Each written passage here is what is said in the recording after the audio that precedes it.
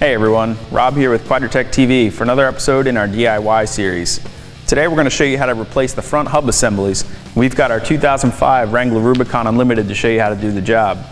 Lately we've had some grinding noise coming from the front axle, usually caused by a bad wheel bearing inside the front hub.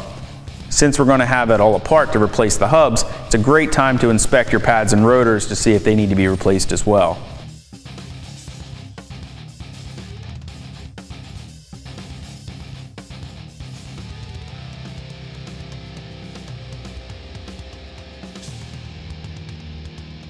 After you have your Jeep up on the jack and your wheel removed, take the cap off the brake fluid reservoir and set aside. Using your 13mm socket, remove the two 13mm bolts that hold the caliper to the steering knuckle.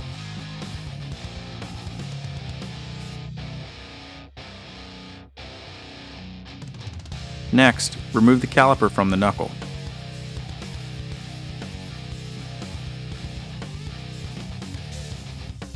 Rest the caliper out of the way for now. Do not let the caliper hang by the hose.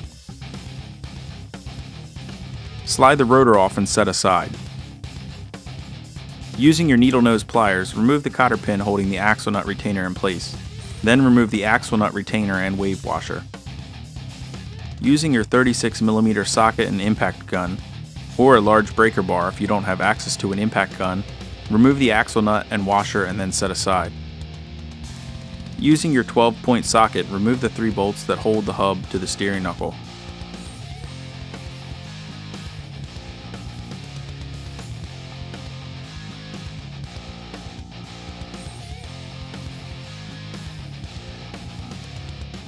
Slide the hub assembly and brake shield off the end of the axle and out of the steering knuckle.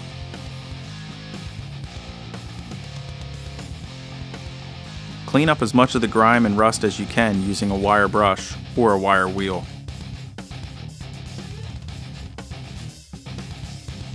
Reinstall the brake shield and your new hub assembly, making sure to line up the splines on the end of your axle shaft.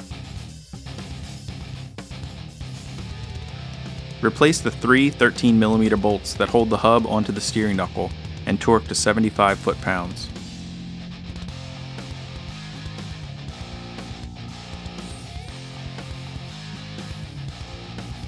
Replace the washer and axle nut, then torque to 175 foot-pounds.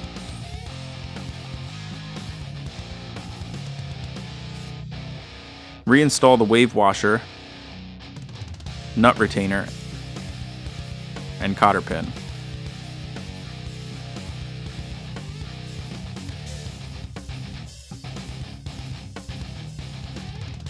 Slide the brake pad off the fixed side and discard.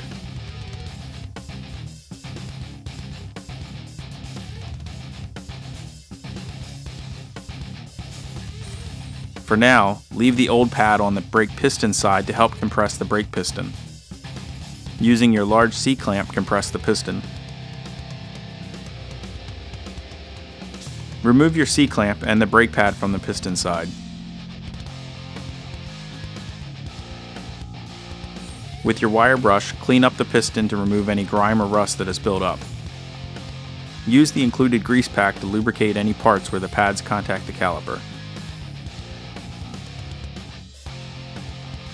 Making sure you have the correct brake pads for the side you are working on, reinstall the pads on the caliper. Be very careful not to get any grease on the braking surfaces of the pads or the rotors.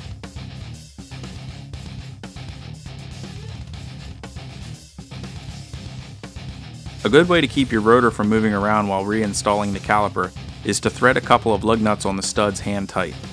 Just don't forget to remove them before installing your wheel. Reinstall the caliper by placing the notches in the pads onto the carrier and lining up your caliper bolts.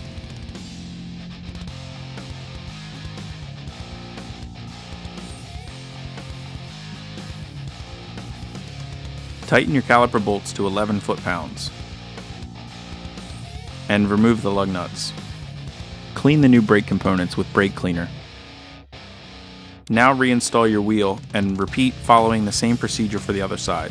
Make sure to check out Quadratec.com for all your Jeep parts and accessories.